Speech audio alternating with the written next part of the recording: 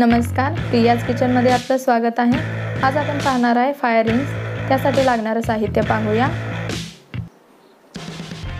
उकडून घेतलेला बटाटा एक ते दोन. त्याचबरोबर रवा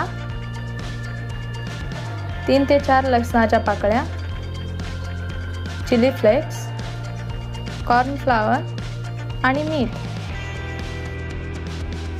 मिक्सरच्या भांड्यामध्ये रवा टाकून तो बारीक करून घ्यायचा आहे.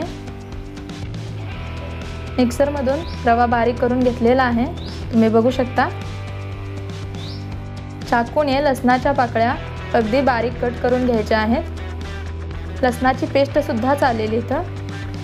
यानंतर पॅन गरम करायला ठेवून पॅन गरम झाल्यानंतर त्यामध्ये एक चमचा तेल टाकून घ्यायचं आहे. तेल गरम झाल्यानंतर पॅनमध्ये आपण बारीक कट करून घेतलेला लसूण टाकून घ्यायचा आहे. त्याचबरोबर त्यामध्ये टाकायचे आहेत एक चमचा चिली फ्लेक्स. तसेच थोडंसं चवीनुसार मीठ टाकून घ्यायचं आहे. आता हे छान परतून घ्यायचं आहे. फोडणी व्यवस्थित परतून झाल्यानंतर यामध्ये एक ते दीड कप पाणी टाकायचं आहे.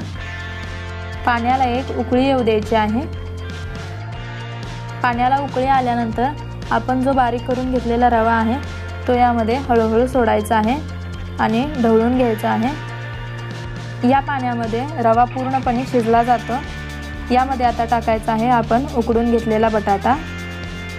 हे थोडंसं परतून घेऊन बटाटा आपल्याला स्मॅशरने स्मॅश करून घ्यायचा आहे. म्हणजे तो छान एकजीव होईल. बटाटा आणि रवा छान एकजीव झालेला आहे. तुम्ही बघू शकता. आपलं हे मिश्रण छान तयार झालेलं आहे. आता हे थंड होण्यासाठी काढून घेऊया एका प्लेटमध्ये. आपल्याला हे आधी थंड करून घ्यायचं आहे. थंड झालेलं आहे मिश्रण. आता यामध्ये आपण टाकणार आहे कोथिंबीर थोडीशी बारीक चिरून घेतलेली. त्याचबरोबर मक्याचं पीठ दोन चमचे टाकून घ्यायचं आहे. आता हे आपल्याला हाताने छान मळून घ्यायचं आहे.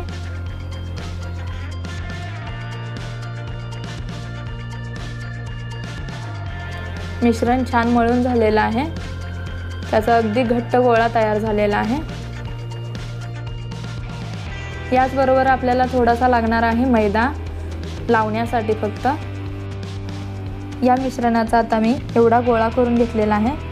आता हा मैद्यामध्ये बुडवून तो पोळपाटावरती लाटून घ्यायचा आहे. अगदी लहान आकाराचा.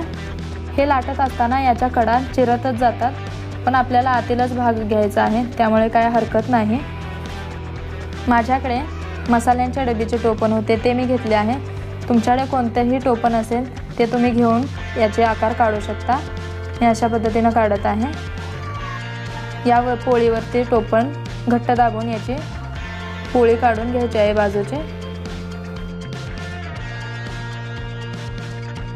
आता या सुद्धा पुरीवरती याच्या आतील छोटंसं टोपण घेऊन त्यावरती ठेवून हे सुद्धा घट्ट दाबून त्याचा आकार काढून घ्यायचा आहे.